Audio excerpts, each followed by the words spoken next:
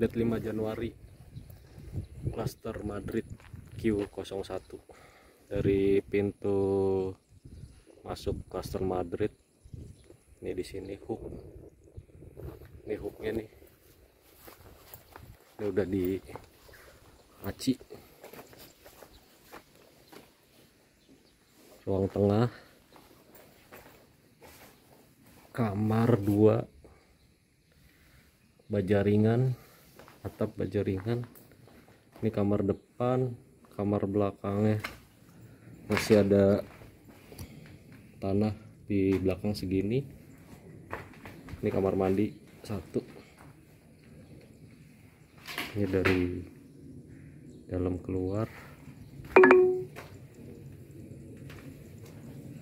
Ada jendela kamar belakang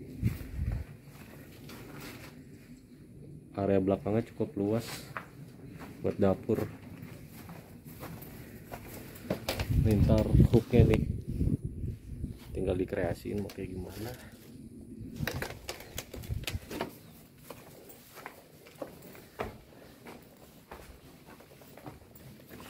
Yang udah jadi guys seperti itu. Ini orang udah tingkat